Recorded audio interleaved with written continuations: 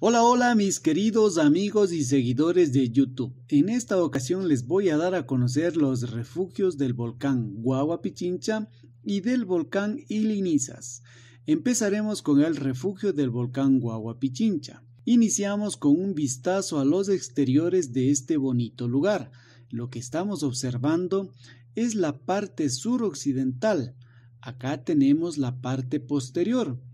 Si no estuviera nublado podríamos mirar la ciudad de Quito al fondo.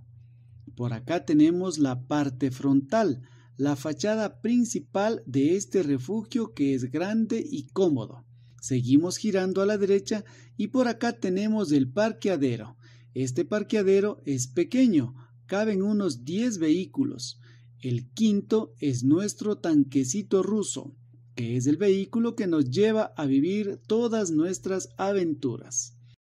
Ahora les presento a don Hugo, cuidador del refugio. Le pregunté que cuántos años a cargo y nos respondía que treinta y siete años, una vida completa de don Hugo a cargo del refugio Volcán Guagua Pichincha. Me comentaba que son dos cuidadores, los que resguardaban este refugio y este día él se encontraba de turno. Lógicamente, con su autorización, ingresé a realizar estas tomas que les traigo con mucho cariño para todos ustedes. Ingresamos por donde lo vimos salir a don Huguito. A mano izquierda encontramos la cocina, donde podemos servirnos los alimentos que llevamos o simplemente tomar una agüita de zunfo que don Huguito lo prepara con mucho cariño para todos sus visitantes. Aproveché que desocupaban la cocina para hacer estas tomas de frente. A la izquierda encontramos una pequeña salita con su mesita para descansar, hidratarse o comer con mucha comodidad, como lo podrán observar en la próxima toma.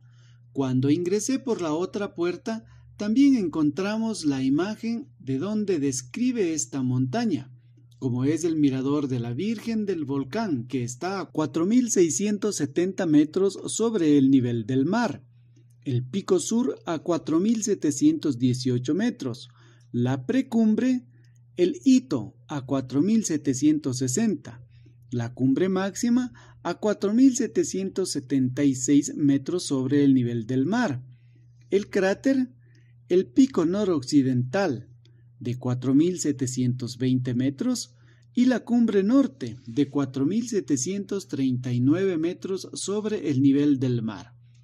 Esta es la toma a la que hacía referencia en la parte anterior. Al fondo encontramos el dormitorio.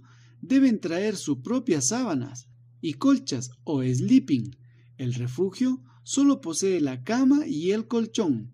Por este otro lado encontramos una chimenea. Ustedes la pueden encender si la necesitan para abrigarse en la noche. Este refugio es utilizado por y para los montañistas que desean realizar caminatas o ascensos nocturnos, ya sea los integrales o a la cumbre antes descrita. No tiene valor alguno, más que la voluntad o lo que usted desee colaborar para su mantenimiento.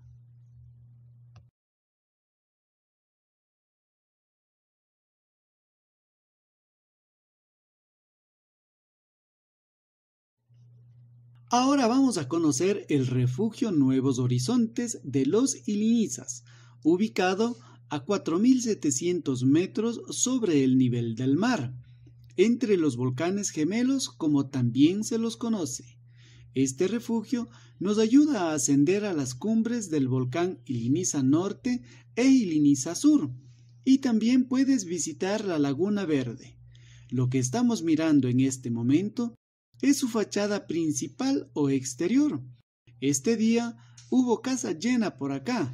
Por esta razón, la gente nos equipábamos en sus exteriores.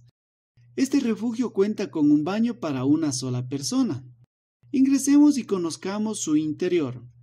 Por acá tenemos un pequeño comedor con su respectiva cocina. Como pueden apreciar en las imágenes, aquí puedes degustar de un café caliente, un chocolate o una agüita de zunfo. Él es don Gato, quien labora ya 14 años en el refugio. colabora y apoya a montañeros a llegar a la cumbre de los volcanes antes nombrados y también realiza labores de rescate cuando la ocasión lo amerita.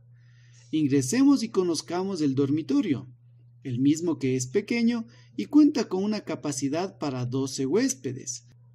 Al igual que los otros refugios, debes traer tu sleeping si no quieres pasar una noche muy fría, ya que te ayudan con una colcha muy liviana. Normalmente hacen uso de este refugio los montañeros que desean alcanzar la cumbre del Iliniza Sur o los que desean aclimatar para montañas más altas. Con estas escenas de hace cuatro años atrás, cuando por primera vez llegué a este refugio, me despido, sin antes desearles mucha suerte en sus ascensos y ya sabes, si te gustó el video, no olvides darle like y suscribirte a mi canal Bye bye. Muchas gracias.